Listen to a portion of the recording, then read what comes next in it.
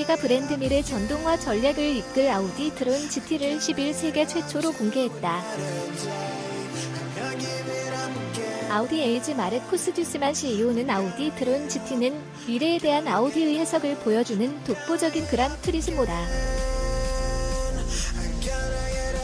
프리미엄 자동차란 바로 이런 것임을 뚜렷하게 보여주는 외관 디자인과 인상적인 주행 성능을 통해 전기 모빌리티를 가장 감성적으로 표현했다. 또한 지속 가능한 개념을 도입해 아우디가 추구하는 가치에 대한 확고한 태도를 보여준다라고 말했다.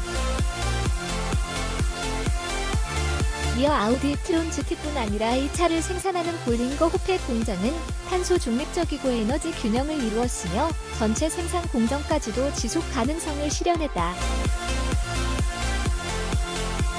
이는 공장, 생산 인력 및 아우디의 미래 생존 가능성에 대한 중요한 시그널이다라고 말했다. 이번 공개된 아우디 e-tron GT는 뛰어난 핸들링과 안정적인 주행 성능을 갖춘 sporty한 touring 모델인 그란 투리스모의 특징을 적용한 순수 전기차로 모델에 따라 전기 모터 출력은 350kW 또는 440kW이다. 여기에 e-tron GT에는 86kWh 용량의 리튬이온 배터리가 탑재되어 1회 충전으로 WLTP 기준 최대 488km의 주행이 가능하다. 이 트론 GT는 최상위 공기 역학을 고려해 디자인되어 학력 개수는 0.24에 불과하다. 인테리어 또한 클래식한 그란 트리스모 디자인과 잘 어울린다.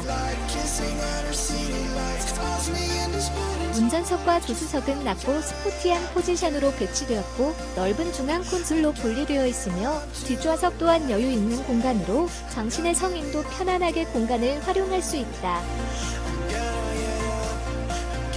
한편 일부 외신에 따르면 아우디 순수 전기차 라인업 최초로 독일에서 생산되는 e-tron GT는 독일 네카줄름 뵐링거 회페 공장에서 양산되고 해당 공장은 재생에너지와 에코 전기를 활용해 탄소 중립을 이뤄냈다.